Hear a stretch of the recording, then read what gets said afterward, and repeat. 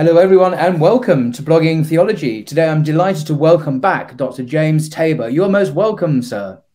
Thank you, Paul. It's always good to be with you.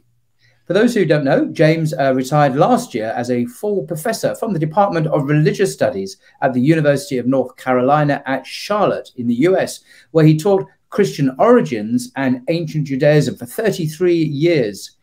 Among James's publications include over 50 published articles, as well as nine academic books, and he's popular. Uh, uh, he's a popular public lecturer, often consulted by uh, the national and international media, for example, Time, Newsweek, New York Times, Washington Post, Wall Street, and many others. James has a professional blog uh, that deals with biblical studies, worth looking at, um, as well as a popular YouTube channel, which is really, uh, really going strong at the moment. I've noticed James Tabor videos, and I will link to these in the description below. Definitely worth checking them out. Now, today uh, we will continue discussing uh, the fascinating question: Did Jesus' first followers think that he was God? Now, most Christians, I suspect, think they did. But what does the earliest historical evidence tell us? This video is the second part of a two part series exploring the subject, and I'll link to the first part if you've not seen it below. So over to you, sir. Thank you, Paul. It's always great to talk to you in depth. I like to dig into these things with your people. So, uh, I'm going to hold this up. Uh, we're going to put a link in the description oh. where everyone can have this. It's a nine or 10 pages. And let me tell you what this is. Whenever we began to study early Christianity uh, or the Jesus movement, the John the Baptist, Jesus, James movement is what I prefer to call it, that becomes something called Christianity in the second, third, fourth, fifth centuries. We have a new religion. But if we go back to the early days, we're talking about an apocalyptic messianic movement within Judaism. And I think we can successfully say, and this would be true of all of the movements that we know about from that late Second Temple period up to 70 CE when the Romans destroyed Jerusalem, none of them ever even dreamed that the Messiah would be God or divine or worthy of worship. Messiah, by definition, means one whom God has anointed or chosen or commissioned. it's very close to prophet, but it's particularly referring to a royal figure, either a priest or a king. So uh, I just wanted to start with that. So, what we have to do if we're going to be scientific and take a proper historical view of things is to ask what is the earliest evidence? And that would be true with any endeavor, I'm a historian of religions, happens that I study the Jesus movement. But you start with sources. What do we know? How do we know it? How do we know what we know? And you don't start in the fifth century or the fourth or the third or the second. I'm not saying there couldn't be any later material, but if we can get something early, we want to do it. And what I'm waving here is the earliest record we have of Jesus. Now, where did I get this? Yep. It's almost as good as finding a Dead Sea Scroll or something like that, although it was found actually in the pages of a standard Christian Bible. Here mm. is uh, my personal Bible, the RSV. I know you usually have one around too. There you go. Exactly. Yeah, there you go.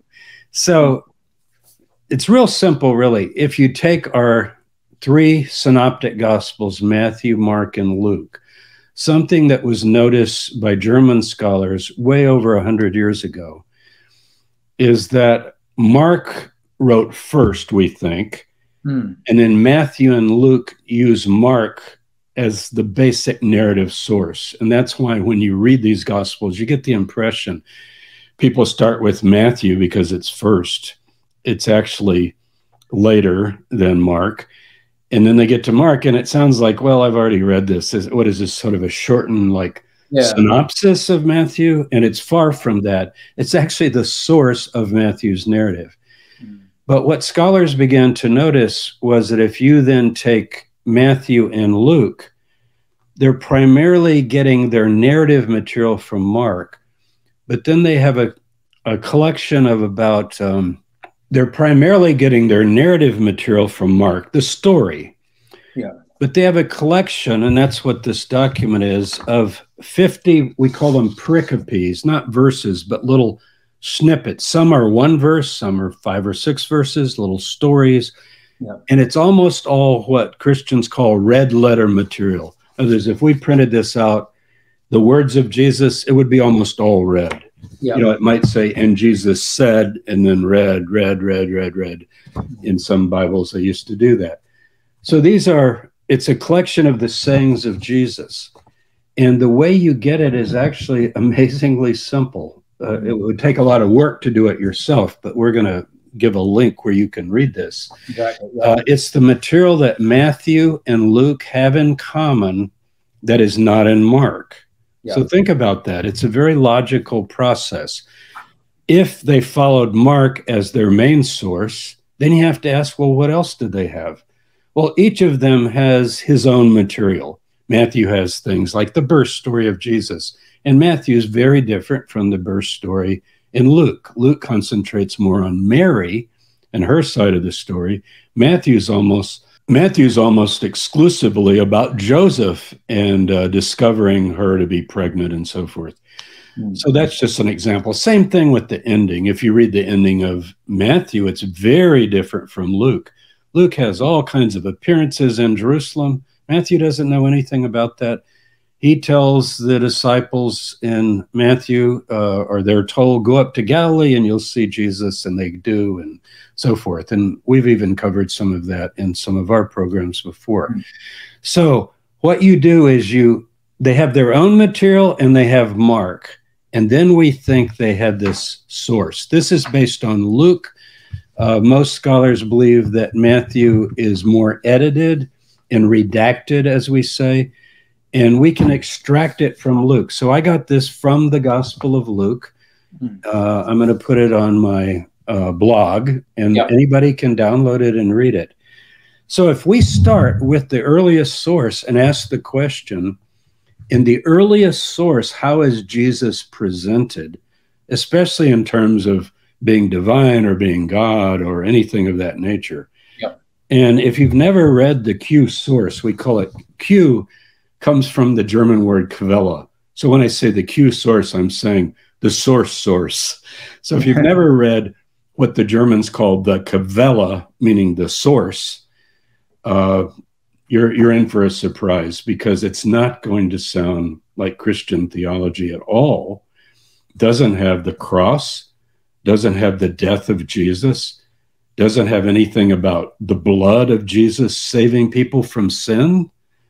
How could you have a collection of the earliest sayings of Jesus that don't include some of those Christian fundamentals that people think are just bedrock faith? Apparently, in the earliest collection of the sayings of Jesus, that material doesn't appear. It's secondary it's later it's it's based on certain theological developments that begin to take place long after the time of jesus.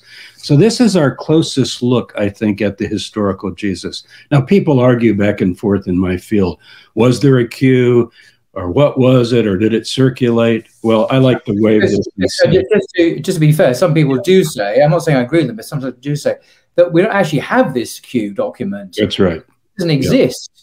It's it's a it's a, a construction by historians uh, who think that this doc. But we don't even. The other thing is we don't know if it was a document or an oral tradition or was it partially. The, the question right. don't know. So it, it, it it's a hypothesis, but one that I think persuades most scholars that it definitely was an actual source, Q, used by Luke and Matthew, as you say. Exactly. We don't we don't actually have it. This is what I'm. No, we don't have it. Where I extracted this literally from uh, my computer program of Luke. Uh, I put it together today. So, whether it was a separately circulating document or not is somewhat mute because it is a source that Matthew and Luke are both aware of because that's how we get it. The material that Matthew and Luke have in common that is not in Mark. So they're different uh, theories as to how they would have come to both have this material. Did they get it from one another? Was it a separate, independent circulating document? But either way, we've got it here. Yeah. Now, if you look at that immediately, and I've just gone through and marked a few things that I want to highlight. Yeah. Um, the very opening, it starts with John the Baptist, as you might uh, expect. Yeah, I can actually see the document. Yeah. So if people don't have it with them, they can just link, click, click on the link now. They can get up the document and they can. Yeah, they can get it out and follow along. Uh, yeah. What James is saying now. Mm-hmm. So this is uh, the very first one.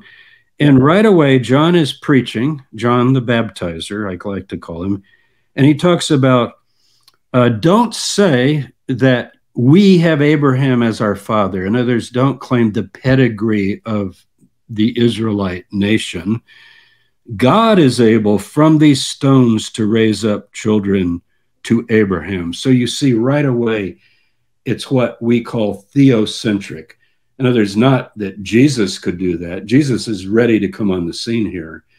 But uh, right away, it's God, the God of Abraham, that is highlighted. Mm-hmm. And just as God chose Abraham, God could choose stones if he so wanted and turn them into the chosen people, so to speak. So it opens with this radical idea that to, to listen to God and to repent of your sins and turn to the Creator God is the main thing, not a claim of any kind of uh, religion or even pedigree. Mm. Then you get this amazing scene, the famous temptation of Jesus. This is not in Mark. Mark refers to Jesus being tempted by the devil for 40 days, like Moses in the, in the wilderness 40 days in fasting, but he doesn't talk about what the temptation was.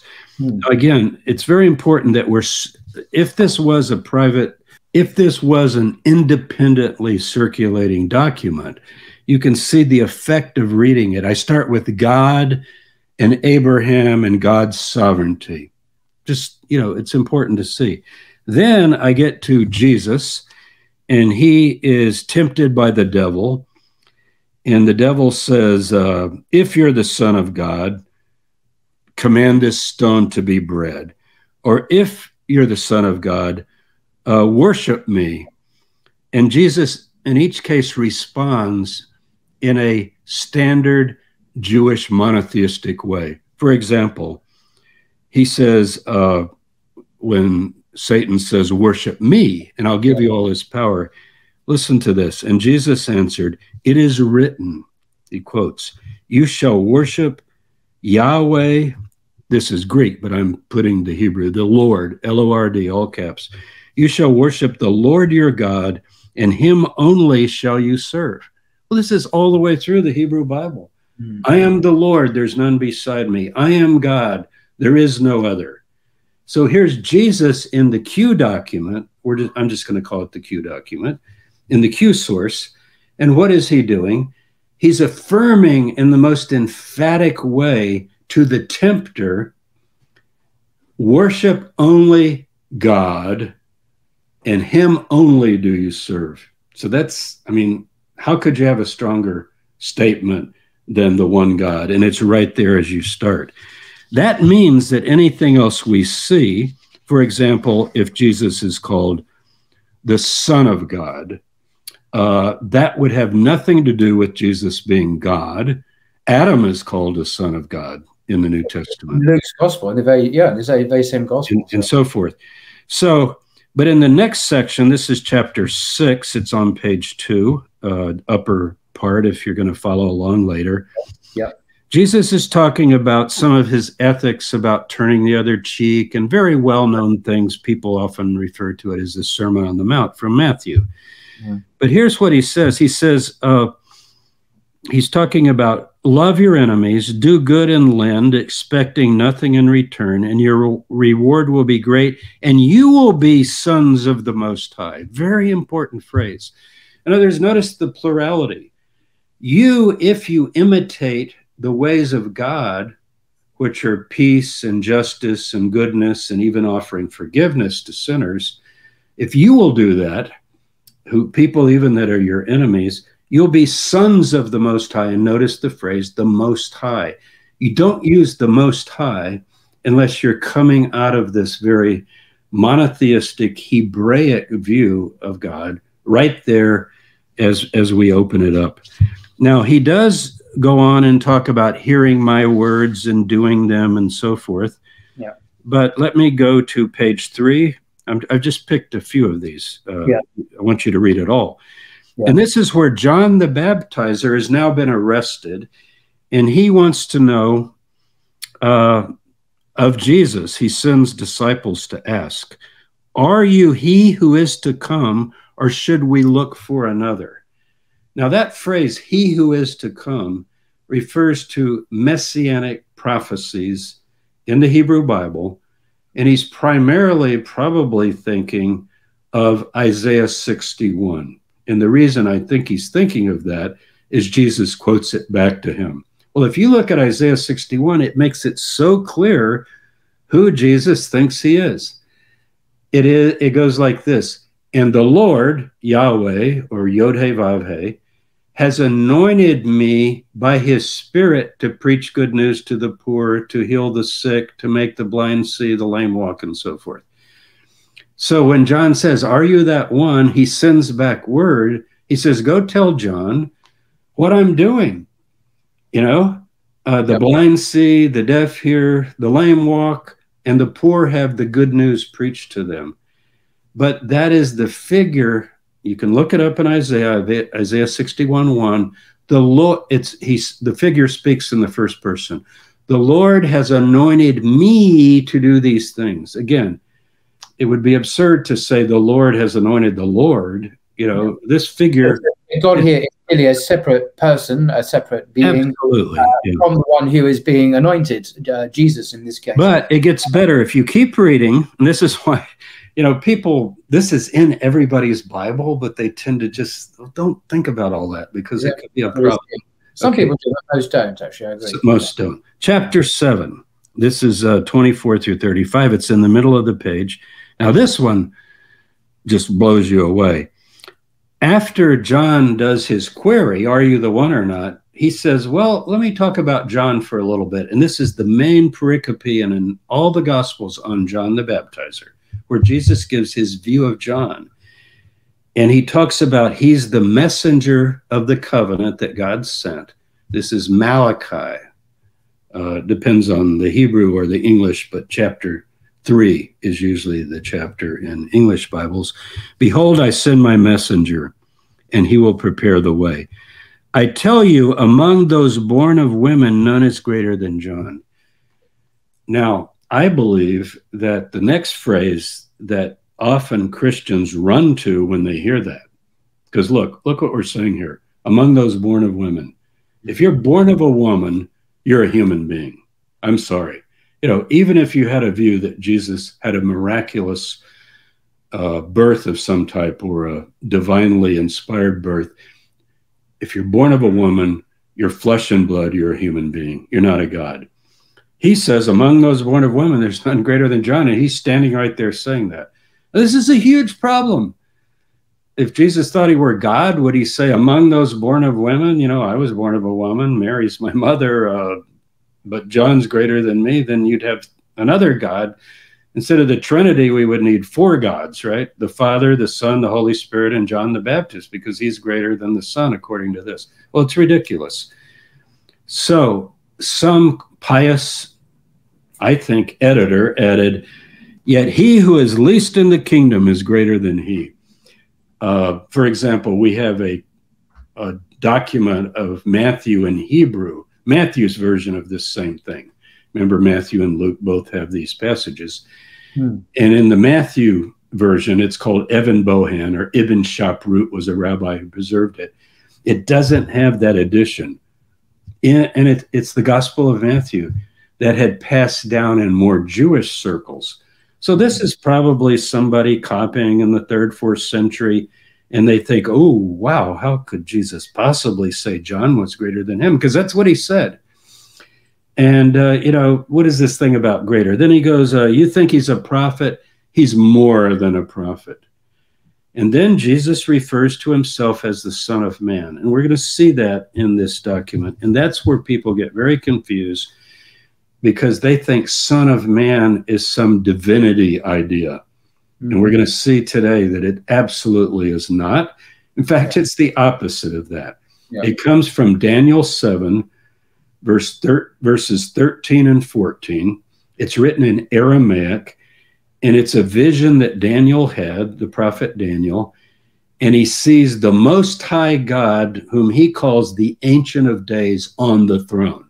That's not the Messiah. That's not Jesus. That's not anybody but the one God. And then he sees a Bar Enosh, a son of man, a human being, coming before the throne of God. So this is a very unusual event. A human gets to have an audience with God, just like Isaiah. In Isaiah 6, Isaiah sees the throne of God. It doesn't mean he's God, it means he sees the throne of God. Mm-hmm. So this son of man figure is everybody says, "Oh, that's Jesus, that's the Messiah. He's the son of man coming in the clouds of heaven." You get that phrase uh, in several of the gospels. Uh, they don't read Daniel 7, where Daniel is wondering, well, who is that Son of Man? And he waits for the angel to interpret it. And nobody reads the interpretation. Exactly. The interpretation says. He says to the angel, I don't quite get this. Can you interpret this yeah, what, what, what, was that Son of Man? That's and he, he says, him, tells him what is meant. And you're right, that bit where it's actually made explicit really is very clear. Um, and yeah, and what is it? It's the people, notice the phrase, of the most high God are collectively called the Son of Man. Yeah. Jesus, then, who take rule at the end of the age of all the kingdoms of the world. That's what Daniel 7 is about. No matter how you understand the kingdoms, they all are destroyed, and the kingdom of God then stands forever. Mm-hmm. Uh, now, I'm not sure I understand. I thought I had that muted. I'd had it silenced. Let me just shut it down. Hold on. You'll have to. That was Siri interrupting us. That was, that was quite timely. it was. not, she, not you, should leave, you can leave it in. Siri, you don't understand. Keep listening. So exactly. Okay. So think about this. What it's saying is that there will come a time when human beings Son of Man is a term used for a human being, meaning there's angelic beings, there's God Most High, and then you have this human being before the throne of God, and you go, how could a human being be here? Because humans don't belong before the throne of God. Well, for in a this is a vision or a dream uh, that Daniel has, and he's told, what does that mean? It means the people of the Most High will someday take over the rule of the earth and the Most High God will be God. And of course, they're not God. Jesus claims to be a representative of that effective takeover. He's casting out demons, he's healing the sick, he's teaching people to repent of their sins. He's acting like a prophet, very much like a prophet. And uh, so that's very important. Mm-hmm. Then uh, you'll see in here several times it'll say things like, if you reject me, you reject the one who sent me. Well, every prophet said that. If a true prophet comes and speaks the words of God and you reject that prophet, have you rejected the prophet or have you rejected God? But people read that and they say, oh, look, it says if you reject Jesus, then you're rejecting God it's talking about the message. He says, yeah, the one who sends who hears me and rejects it. And there's the words. Uh, but if he's a true messenger, then obviously you wouldn't reject him either. Um, when he teaches the prayer, the famous Lord's Prayer, it's called, what does it start with? Father, hallowed be your name. Hallowed be your name right away is the one God. It means there's no other name you're the sacred one, the name of God. Um, a few other lines the heavenly father gives the spirit. Again this is very monotheistic throughout. Uh, when he casts out demons notice what he says. He does he never in q says i do this i do that i'm so great. He said if i by the finger of god cast out demons the kingdom has come upon you. Because he did believe that in this document that he's beginning to defeat the powers of Satan by the things that he's doing, calling humans to repent and so forth. Yeah. So uh, it's hardly a Christian document the way people think of Christians. Mm-hmm. Then he talks about the Son of Man coming. Well, that's Daniel 7 again. I think the followers of Jesus did believe that he was the Messiah and he would be at the head of the redeemed group that is following the ways of God. But remember, if you follow, you'll be also sons of the Most High. So, sons of the Most High, Son of Man coming in the clouds of heaven is the same thing. Uh, let's see. Uh, it's it's Theos. When I went through, uh, I was looking at this this morning because I knew we were going to do this, and every time it had God, I just marked it, and it is so theocentric. It's there's no doubt. You know, mm-hmm. God does this. God clothes the poor. God cares about the sparrows. God, God, God, God, all the way through. It's very, very. But be ready for the coming of the Son of Man. What is the coming of the Son of Man? That judgment that Daniel 7 talks about, where all these kingdoms will be destroyed. So if you you've got to understand Daniel 7 and then you can understand it all. Let me see if there's anything else. Oh, how about this? No one can serve two masters. You cannot serve God and mammon. That's that old Aramaic word meaning wealth or worldly kinds of things. You've got to choose God. This is God, God, God all the way through. Now, it does talk about Jesus being rejected, but what prophet in the Hebrew Bible was not rejected? Uh, John the Baptist was arrested and beheaded by Herod Antipas. Jesus is going to be arrested. And so the idea of being rejected, of course, does not say anything. And then the last phrase is it, I'll close with this is page nine, the very last one.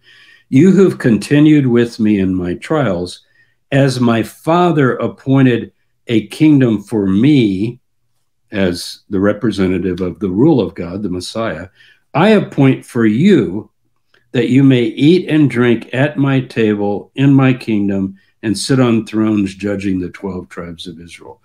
So uh, apparently, in the Q document, the choosing of the 12 was in order for uh, representatives later that would rule over Israel um, in this document. And that's it. Uh, there's really nothing particularly Christian here other than it's Jesus speaking. Um, some of the apocalyptic urgency does seem peculiar to the document. You know, if I, by the finger of God, cast out demons, the kingdom of God has come upon you. But uh, the end didn't come. And uh, those who did interpret Jesus as thinking it would come in his own day uh, turn turn out to be wrong. We've talked a lot about that over the years, this apocalypticism. So I would uh, there rest my case that if you go to the early, earliest source in the Gospels, yeah. it's strictly monotheistic and not just reflecting it, but actually denying anything else, particularly the one I started with you shall worship Yod He Vav He, the Lord your God, and him only shall you serve. No Trinity, no possibility of bitheism. Uh, be- just say, is, is there not? I'm just looking for it now. Or Maybe I, I uh, maybe I'm wrong. The, the so-called Johannine Bolt from the blue. Oh yeah, yeah. I didn't mention that. Yeah, uh, which is uh, uh the reason it's called that. It's not my phrase. Is, is found in many scholars. Um, yeah, uh, Bultmann Bultmann named it that. It's chapter twelve 8 through 10. I'll read it. Ah, thank you. Uh, I tell you, everyone who acknowledges me before men, the Son of Man will acknowledge before the angels of God. But he who denies me before men will be denied before the angels of God. Everyone who speaks a word, no, is that? No, that's not it. I'm sorry. So, I think but, it's 10, 10, 20, 10, 21. Yeah, 10. Yeah, I read the wrong one. I marked both of them. Let me, yeah. So you have to edit that out. Um, yeah, so he rejoices. Yeah, I got it. Yeah, 1021. Yeah. What you're referring to, Paul, is 1021 through 22. Yeah. I think Bultmann, Rudolf Bultmann, the great New Testament scholar, first called it the Johannine bolt from the blue. Like you're reading a long, yeah. earliest document of gospel material, and suddenly it sounds like the Gospel of John. Yeah. Okay, I'll read it to you. It says, "All things have been delivered to me by my Father, and no one knows the Son except the Father, or the or who the Father is, except the Son, and anyone to whom the Son chooses to reveal him. And this binitarian theme. It's, it's, very Johannine, like the Gospel of John, where you have the Son and the Father constantly in in in contrast. And sometimes, uh, Jesus talks a lot about himself as the Son in yes. John, but uncharacter very uncharacteristic in. Yeah, and it's probably remember the way we get Q is we come up with a formal definition. Now, as you could program a computer print out the material that Matthew and Luke have in common that is not in Mark, and it would spit out this document if we ask it to do the Luke version. Yeah. So that would be there. It doesn't mean, however, that everything here was part of the Q document, because think about it if Matthew and Luke independently had anything that tended to be the same, and there are other places where they do, then it would show up as Q. So it's not as though we've recovered a copy of that scroll, you know, the sayings of Jesus. Yeah. So I would tend, because it goes so far against the flow of this material as a whole. Uh, for example, no one knows the Father but the Son. He just said John the Baptizer is the greatest prophet of the time. And among those born of women, there's none greater. So that would be a conflict right there. So, you know, uh, it's there, but probably was not necessarily part of the original Q. Okay, thanks. And there are a couple of other examples like that. So then I wanted to go to Mark and uh, just to do, you know, we're not going to do the whole Gospel of Mark, but I would like to do two particular passages, and we we could spend the whole time on Mark, but I want to get to Paul as well. Okay. And let's look at Mark 10, first of all, and you people can just find this. I printed it out, but yeah. um, people can just find this in their Bibles. Okay. Uh, Mark 10, 17. Uh-huh. One of my favorite verses. Yes. my favorite in the, uh, in oh, the That's right. And here is Jesus. Now, this is Mark, our earliest narrative Mm-hmm. And Matthew and Luke sort of include this, and we'll talk about that because they're not very happy with Mark's version. As he was setting out on his journeys, Jesus, a man ran up and knelt before him and asked him, Good teacher, what must I do to inherit eternal life? Now, you would expect, why wouldn't he say, Believe on the Lord Jesus Christ and you will be saved, or repent and be baptized in the name of Christ, or some kind of Christian answer. I mean, if you ask, how do you have eternal life? And what does he do? Well, first of all, he says to the guy, Why do you call me good? No one is good but God alone. And the word alone is very important because that's part of that Shema. The Lord our God, the Lord alone, or the Lord is one. There are various ways to translate the Hebrew. But I, I think God alone is very effective because it means no partners, basically. Why are you calling me good? There's only one good, the creator God alone. So and that, and that, that, emphasis that you made is very Islamic. Uh, you often hear this uh, very point that you made reiterated constantly in the Quran. This is a very Quranic theme, Surah 112, for example, as well as found in the Gospel of Mark, funnily enough. There it is. There it is. And I mean, pious Jews quote it three times a wit, three times a day. Hear, O Israel, the Lord our God is one. And uh, literally, it can be the Lord alone, like only the Lord is God. L O R D is an unfortunate translation because it gets confused with the Lord Jesus. So then he tells him to keep the commandments, which you would expect. How, how do you have eternal life? You repent of your sins and being, and how do you have eternal life? You repent of your sins and begin to live a life according to the ways of God. This is very standard uh, Hebrew Bible teaching all the way through the Torah, the prophets, the writings, and Jesus is reflecting this as a good Jew of his time. he then uh, tells the man, if you want to follow me, though, then you should give, because the man's very wealthy. I didn't mm. mention that. He yeah. says, uh, you should sell what you have and give to the poor.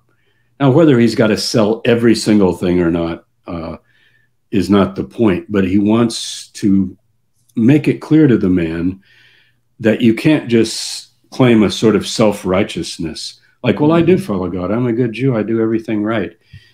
If the poor are outside your door eating the crumbs from the table, so to speak, another yeah. gospel story. And the man says, well, that's going a little too far. Now, I turn to this mainly for the rebuke. Matthew is very unsatisfied with that rebuke. Remember, Matthew is following Mark, he's rewriting Mark, and he comes to chapter 10, what we call chapter 10, verse 17, and he goes, Whoa, if I leave that in, Jesus told someone not to even call him good because only God alone is good. Wow. So what does he do? He says, Why are you asking me about the good? Well, first of all, he, he didn't ask him about the good. He called him. And anyway, he's Why? Why? He just, why he just takes out the rebuke entirely. Yeah. Luke does leave it in, uh, that's because I, I think Luke is not a he's not much of a Trinitarian guy. When you begin to look at Luke, he tends to go with uh, Paul, the uh, particularly the early Paul. So mm-hmm. um, anyway, I want to mention that one, and then yep. the other one that is just in Mark, and I'm not we're not claiming to do all of Mark here, no. but the other one is at the end. That was sort of the middle.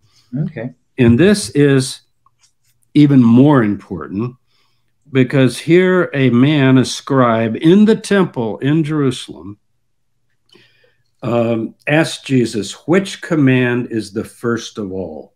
Ah, According to the rabbis, there's 613 commands in the Torah. If you start with Genesis 1, be fruitful, multiply, fill the earth, and you count every command yeah. about two thirds of them have to do with the priests and the temple, but a lot of them do have to do with behavior and conduct, and particularly the 10 words or the 10 commandments. So he says, Well, what is the first? And Jesus says, The first is, Hear, O Israel, Yahweh, or the Lord, all caps, our God, the Lord is one.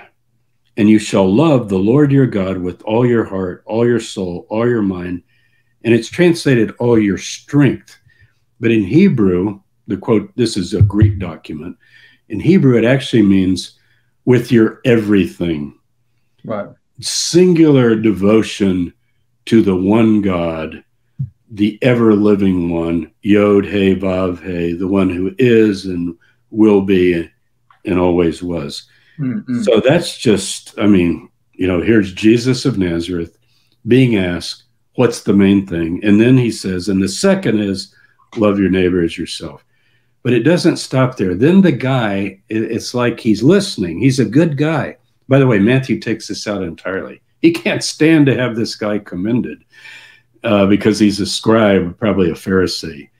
But he's clearly a spiritually minded Pharisee because he looks around the temple. You picture him kind of waving his hand and going, You're right. If you love God with all your heart and love your neighbor as yourself, you've got all of true religion right there. That's it. There's nothing else. So we wouldn't even need all of this temple and all these things that we're doing. And Jesus says, You're not far from the kingdom of God. Isn't that? It's the most amazing thing in the New Testament. Mm-hmm. What he's essentially saying is true religion is to worship and serve the one God, the creator God, and to treat others as you would like to be treated, to put it in the golden rule form, yeah. or what is hateful to you, do not to others. And there's half a dozen ways you can say this, but essentially, love your fellow human being as you love yourself. When I, uh, it's, it's, a curious thing, and I didn't expect this. When I ask Christians very often, what was the greatest commandment, the first commandment that Jesus gave? And nearly always they say, love your neighbor as yourself which is curious because that's not actually the answer Jesus gave. The first commandment is echad, believe in the oneness of God with, without partners.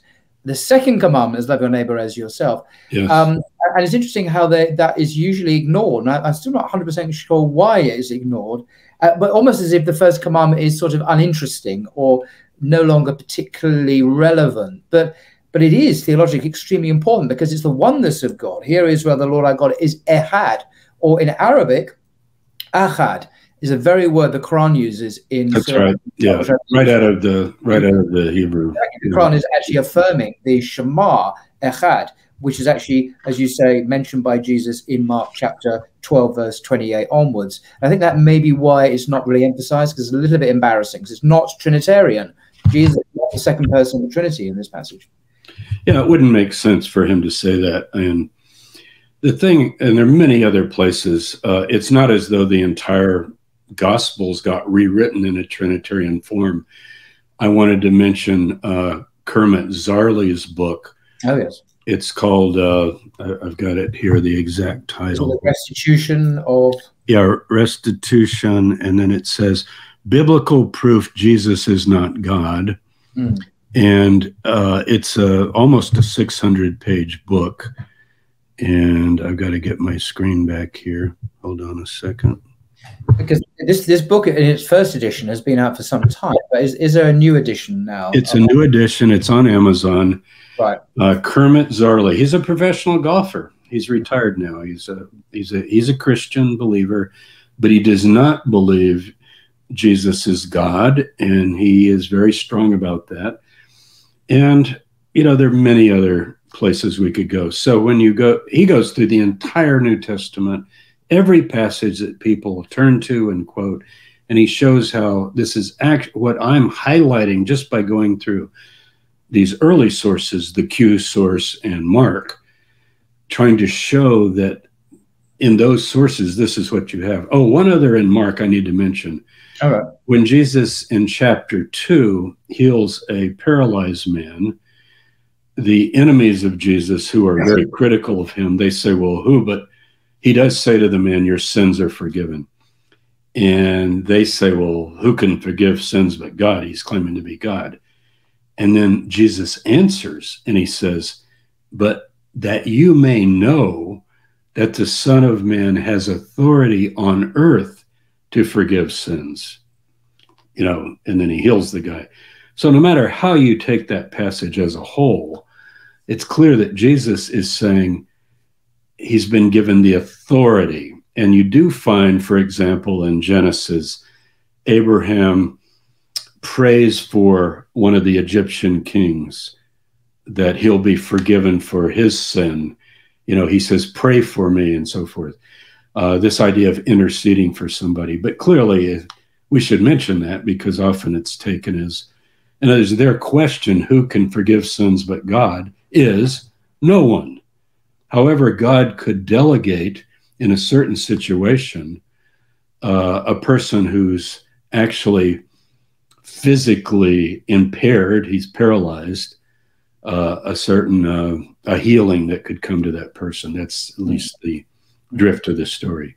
Yeah, and of course, in Matthew, in his in his usage of that passage, has the has the crowds in awe of what's happened and praising God, who has given such authority to human Absolutely. beings. Absolutely, Matthew wants to make sure you don't get that wrong. As Jews get it, and and and the, the, this is the final comment of that passage. So Matthew is clearly with with that sentiment. Uh, that God has given human beings a sentiment. So instead of actually being an argument of Jesus being God, it's actually the opposite it's, it's actually the opposite. Human yeah. being. Yeah. And like I said, Zarley's book goes through all of these. Others have done this. Uh, there are quite a few important books on Christology. The mm-hmm. reason I really recommend Kermit Zarley's book, well, first of all, it's almost 600 pages. It's so thorough. But he also is writing for believing Christians. Right. And he wants them to realize that they have created an idol out of Jesus, and that this is a huge era, uh, a kind of fatal flaw, uh, and that it actually goes against what the earliest followers uh, believed, and that's what we're covering today. Jesus so then we're then we're left with Paul. Yeah, and uh, Paul, we're going to uh, stay with our earliest sources. I can wave my book on Paul around a little Just, bit. just to reiterate, I'm, I'm sure most people know that Paul is uh, is actually our earliest source for Christian beliefs about Jesus, not the Gospels, which were written uh, some years later. So the earliest workings, the works in the New Testament are the authentic writings of Paul. Um, Yes. And this is a book that I published a few years ago, Paul and Jesus. Uh, Paul, you, Paul, and I have done whole programs on this. Yep. But it also highly recommend it. Do you recommend that, folks? If you want a good introduction to this whole subject of Paul and Jesus, So, um, one of the things uh, we can't do all of Paul, but let me just say, Paul makes it very clear in passages like um, 1 Corinthians 8. This is a letter he wrote. Remember, these are Greeks, and he's taught them about the one God. Hmm. In his earliest letter, I'll back up a little, First Thessalonians, he says that they have turned from idols to serve the living God and to wait for his son, the Messiah from heaven. Mm, Okay. So notice, Yeah. very standard expression. You turn from idols to the living God. But this is interesting in First Corinthians 8. He's Paul is talking about uh, going to these temples and maybe eating some of the sacrificial flesh that was offered to these deities. And he has a kind of uh, he doesn't think you should go into the temple and partake of it, but some of this was sold in the marketplace. So what he's concerned with is to let people know whatever their decision is. Are you going to buy this meat that was sacrificed in the temple of Athena that morning, and now it's just being sold as meat? Uh, some would say, well, it doesn't the meat's not hurt, you know, it's nothing, it's not tainted with idolatry. Others would be more conservative and say, I don't want to support that in any way. So what does he say? He says, this is verse four of chapter eight. As to eating food offered to idols, we know that an idol has no real existence and that there's no God but one. He's quoting what we just went through in Q and in Mark. Sir, I mean, this is absolutely, they're singing the same stanza of the same song, mm. and there's no God but one. Yeah. For although there may be so called gods in heaven or on earth, indeed there are many gods and many lords. Look at Caesar. Look at all the gods and lords of all the Greeks and Romans. But Mm. for us, there is one God the Father, from whom are all things and for whom we exist. Okay, that's that's what you would say about the creator. And then he says, and one master, Jesus the Messiah, through whom are all things, meaning the movement, you know, that we're part of this messianic movement.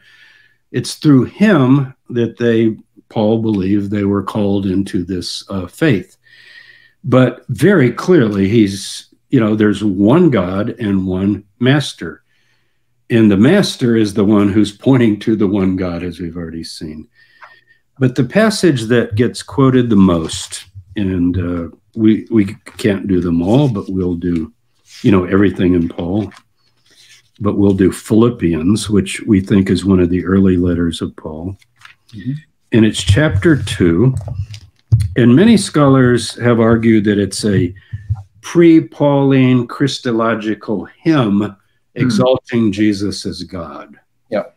And uh, you know, it could seem like that when you read it in English without a context, like we just read what Paul says there's one God, God alone, and one master, the Lord. But what happens with the English word Lord? People get very confused because L O R D, all caps in the King James and most standard translations, the new RSV that you have, the RSV that I use in the Hebrew Bible, that is the divine name. Okay, that's the Yod He Vav He, the ever living one. Yep. Uh, but if you say the Lord Jesus, you hear people all the time. I grew up in Christianity, and people would say, well, you know, I hope the Lord blesses us today, or, you know, the Lord's been good to us this year. And you, Yeah. you went, are they talking about Jesus? Are they talking about God? It's not clear. and often they're not clear. If you listen to prayers, they will start out always to God the Father, our Father in heaven, da, da, da. and then they'll say, "But you died for our sins," and you get and you go, "Whoa, whoa, whoa, whoa, whoa!" Here, that's called patripassianism. Yeah, it's like Father died for the sins of the world. But Mm. see, people, it's because of that word Lord. If we'll just quit saying Lord and say Master Mm. or Rabbi or Teacher, then there's no problem. The guy comes up to Jesus in Mark, we just read it, good teacher, good teacher. It's not good God, good teacher. It's rabbi. It means, uh, you know, kurios in, in Greek is, is Right. did you know a, a wife out of respect could call her husband kurios and it doesn't mean Lord, you know, like I'm going to beat you Yeah. down into the ground. Calls Abraham that in, in Genesis as well. Exactly. And also, he would call her uh, lady. Uh, we can't say mistress because it's been ruined in English, but you Brits have this right Lord and ladies. You know, the Lord of the mansion, the lady of the mansion. They have different roles, but both titles are highly honorific. None of them have to do anything with God. It's just who's in charge? Who's in charge of the kitchen? Who's in charge of the household? Who's in charge of the farm? Who's in charge of the manor? You know, this goes back in all of our cultures. Yeah. So, so part of it is that problem, that word Lord. So this is Philippians 2. Philippian Philippi was a town in Greece, and Paul had raised up a church and preached there, and now he's writing them back, and he's trying to get them to behave in a unselfish, humble way. And he says, count others better than yourselves. Nobody ever reads the context of this. Count others better than yourselves. And don't look only to your own interests, but the interests of others. That's the context of what I'm now going to read. Hmm.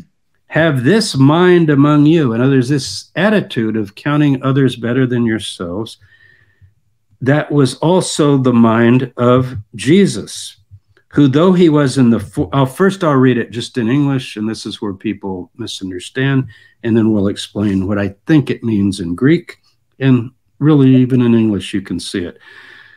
Who, though he was in the form of God, did not count equality with God a thing to be grasped, but emptied himself, taking the form of a servant, and being born in the likeness of men, and being found in human form, he humbled himself and became obedient unto death, even death on a cross.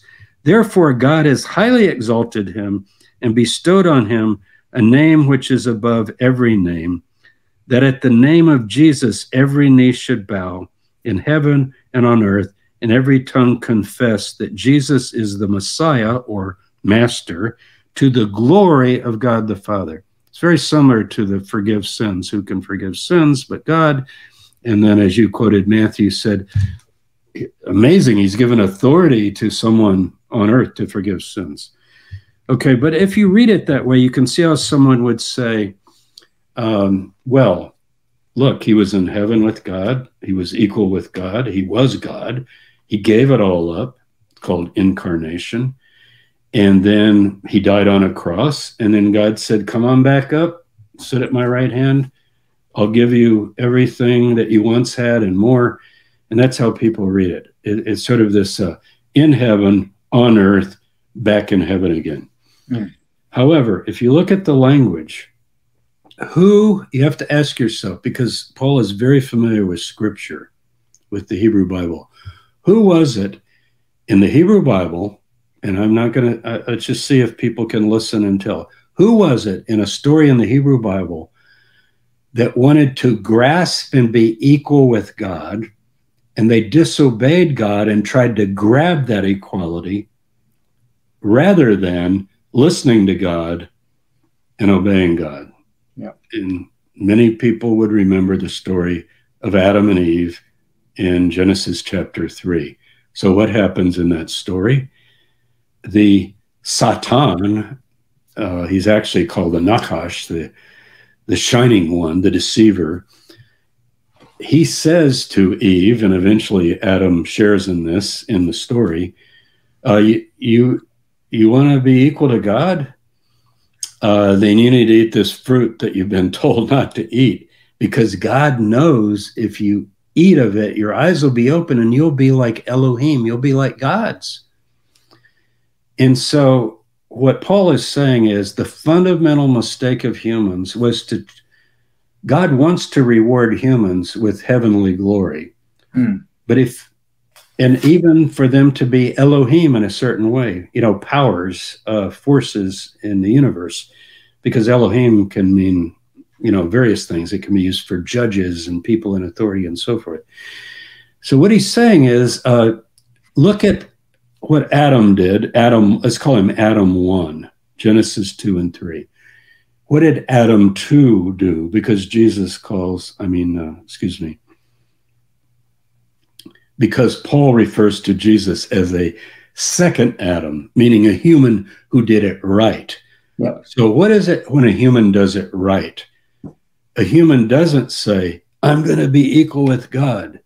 Therefore, I will disobey God and I will become like God. That was the message of the Nakash. Yeah. Right? So he's saying Jesus didn't do that. He emptied himself, took on the life of a servant, washing feet, serving others, giving up what he had for others, a life of sacrifice. And because he did that and it becomes a, an example, he was then exalted as the Messiah. Paul believes he's been highly exalted. But why is he highly exalted? So that people will then give glory to God.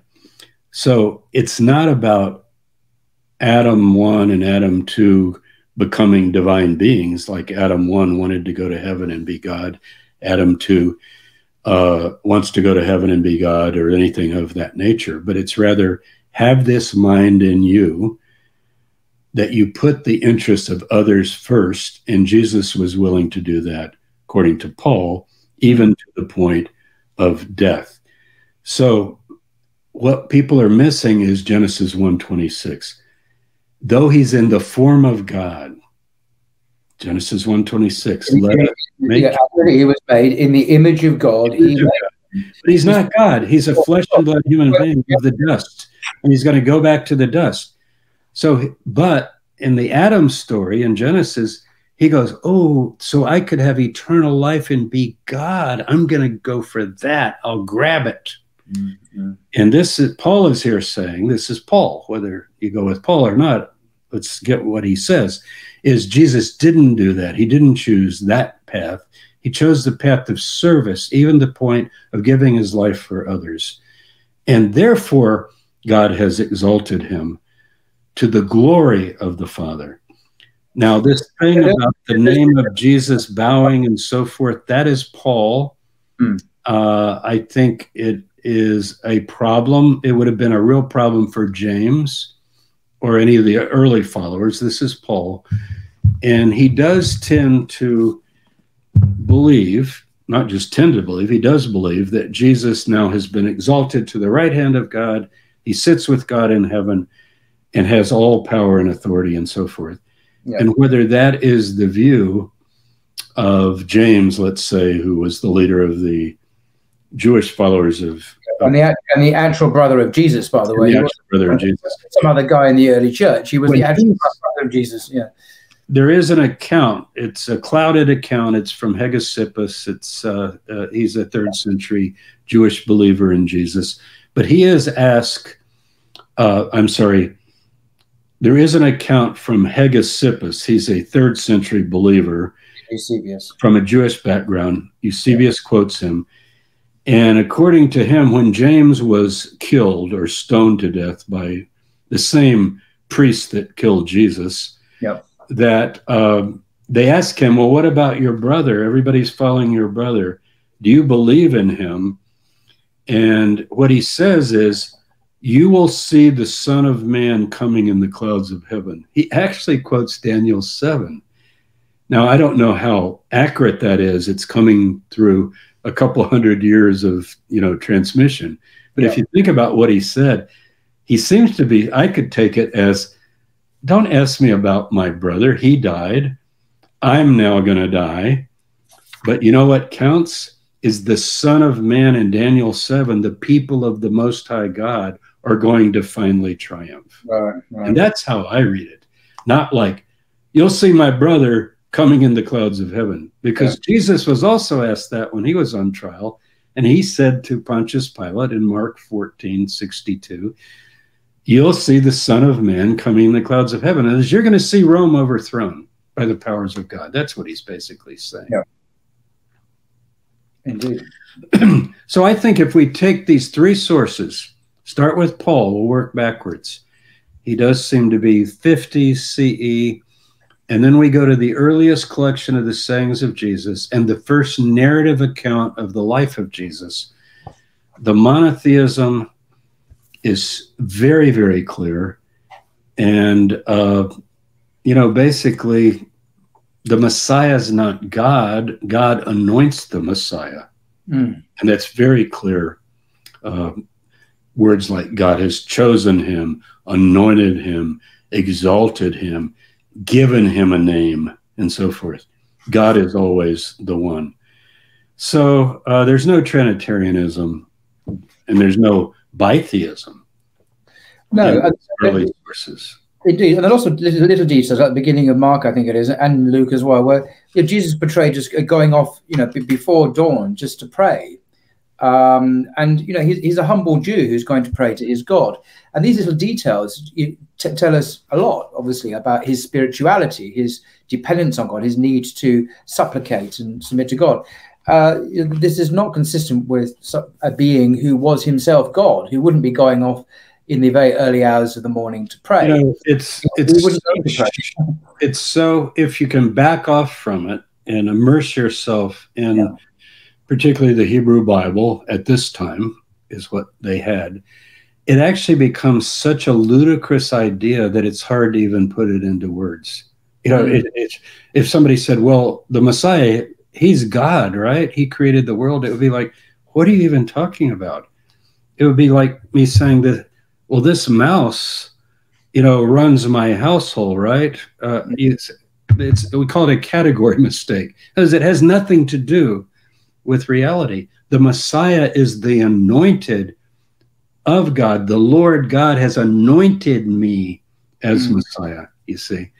Mm. And you know what, Paul, you know this, but some of our listeners or viewers might not know this.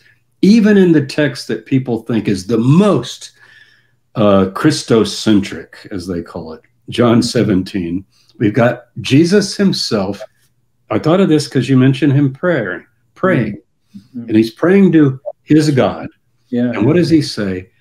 I'm praying that they will know you, the only true God. This is Jesus and John saying, You, the only true God, and Jesus, the Messiah who you sent. That's a perfect Christology of early Christianity. Jesus Father, you the only true God. If it was Jesus Trinitarian, he'd say, not you were the only, you, you were the Father and the Son and the Holy Spirit.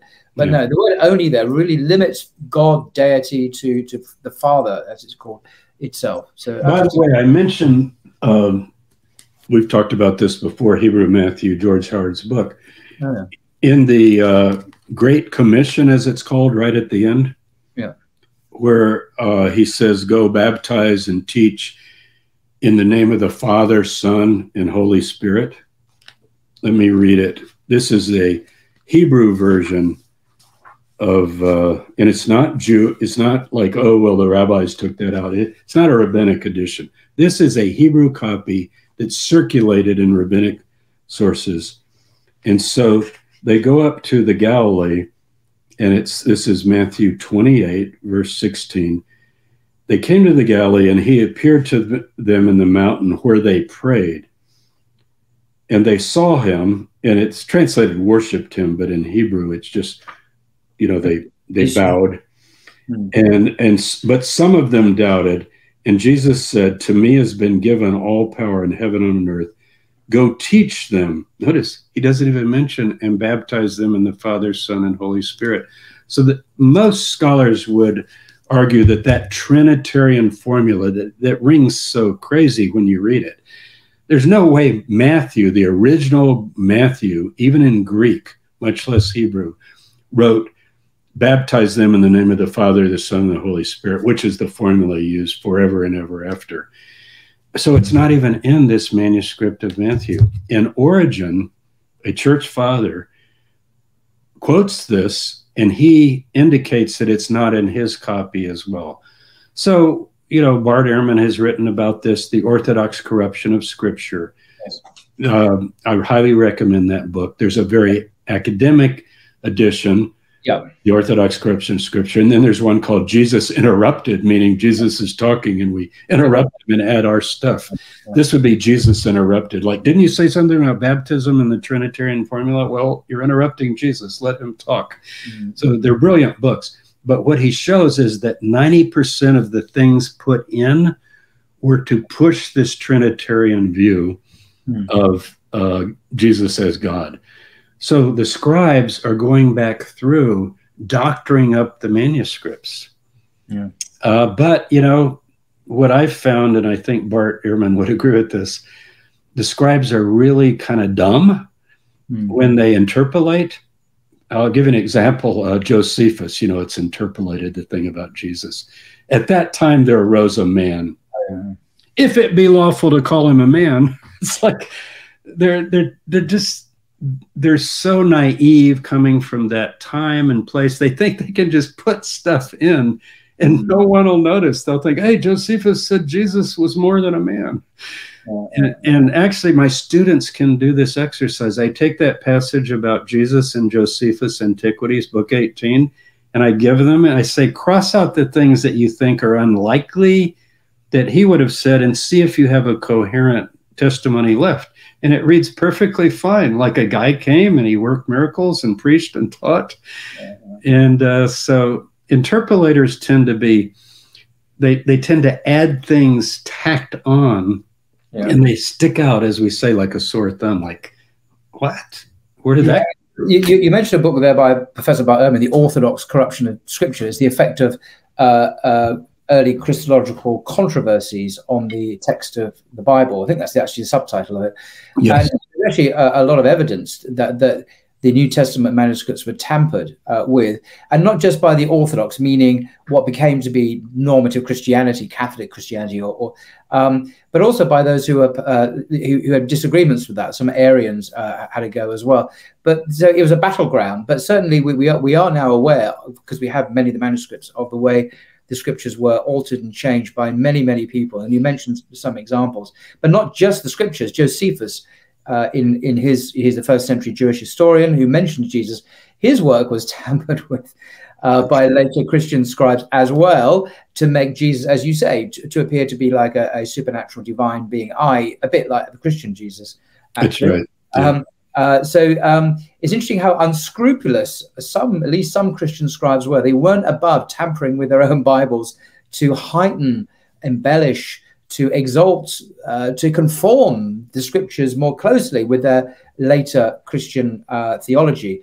And, and this is not a conspiracy theory. This is we we know uh, Bart Ehrman has presented the evidence exhaustively in a very scholarly way in this book, The Orthodox Corruption of Scripture. Yes, it's written by a scholar for scholar. I've read it, and it's not really for the general public at all. It's it really is written. Yeah, Jesus Interrupted is more popular, easier to read. Is popular. The other one is straight from the uh, the hip as a scholar to other scholars. Although you can read it, it is readable. But uh, no, you're right. Jesus Interrupted is the one that distills that for a much more accessible audience. So right. it is a quite a scandal, actually. How yeah, I, have also shown uh, you can go to my blog jamestabor.com and just type in the search uh, the original uh, Book of Revelation. Just type in Book of Revelation, you'll get it. Because what I've done is um, taken out the interpolations in the Book of Revelation.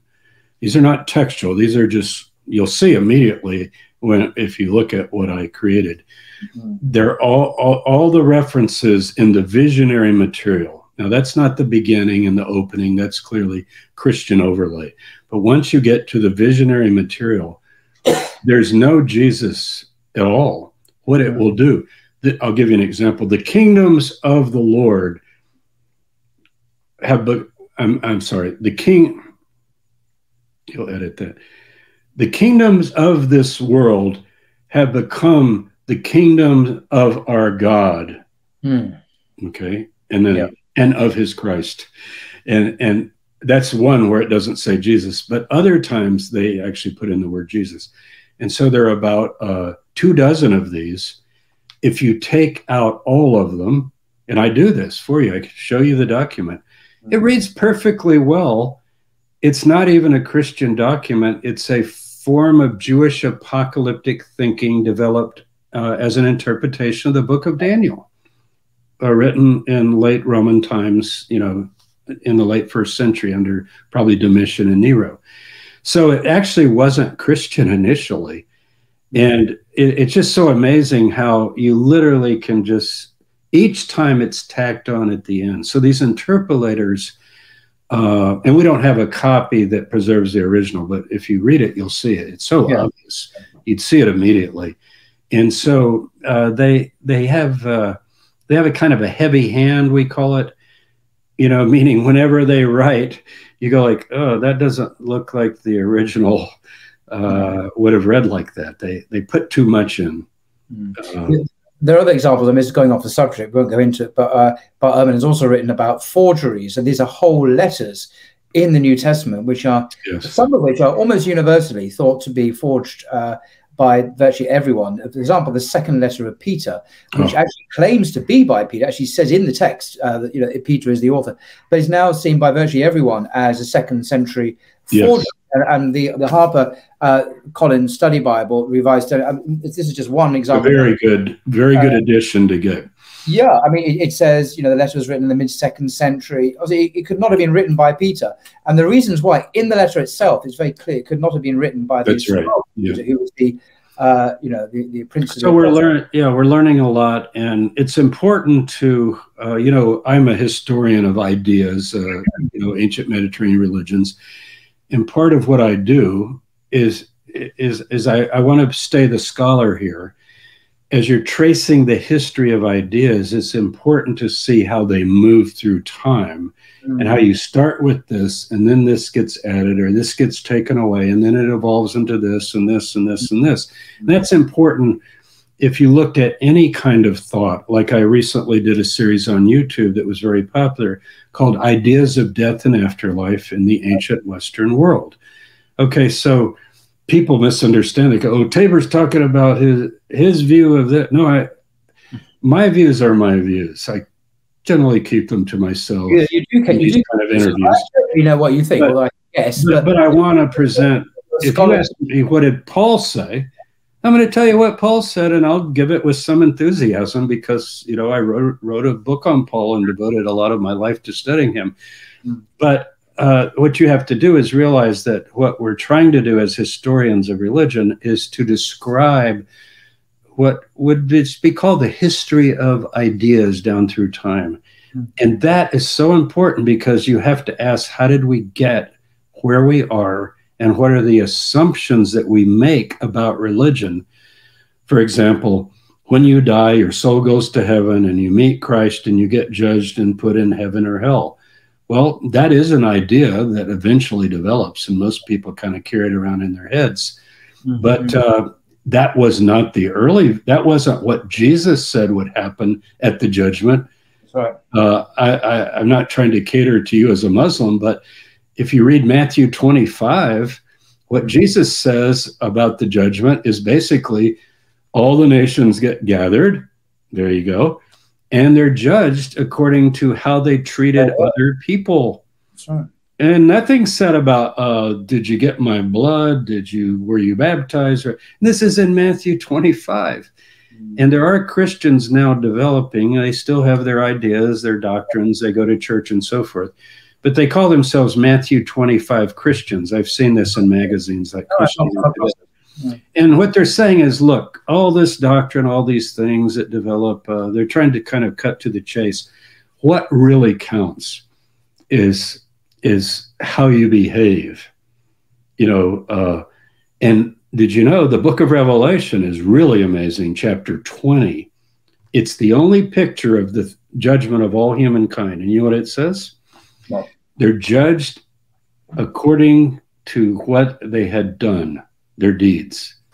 And Paul also says that that God will judge every person according to his deeds, what they've done.